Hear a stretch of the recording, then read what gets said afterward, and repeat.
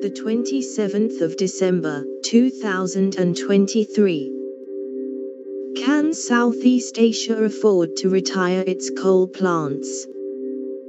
Indonesia and Vietnam will need to balance their sustainability ambitions and financing with the reality that many of the power systems already approved for construction will be coal fired.